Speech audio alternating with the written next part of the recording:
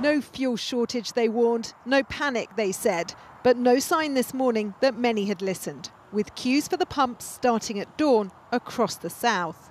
Tempers flaring in London and pumps running dry at one of the busiest motorway services in Britain, to the frustration of drivers waiting for fuel.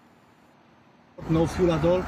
No one. Well, so I tried probably five, six petrol stations already and they're out of fuel. This is unreal. Among those hit hardest, the lorry drivers, who, unlike Britain's fuel stocks, really are in short supply. A lack of delivery drivers first caused gaps at some pumps, but panic buying's turned a blip into bedlam. This lorry driver can't find diesel to fill up, but can predict precisely the effect that will have. Affect you for your breakfast tomorrow morning when there's no milk or cornflakes. That's what's going to affect. Now, Downing Street says that short visas could be introduced to bring in drivers from overseas to help plug the gap.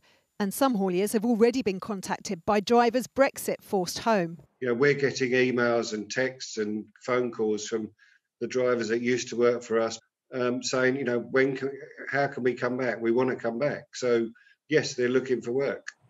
But time is something Gemma and Jessica never have much of, trying to reach the vulnerable people they care for.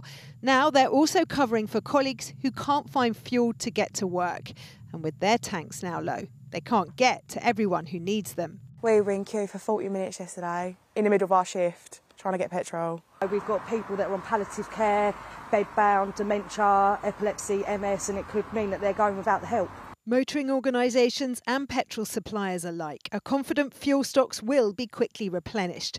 But there's a long road ahead to fix Britain's deeper supply problems. Rachel Younger, ITV News.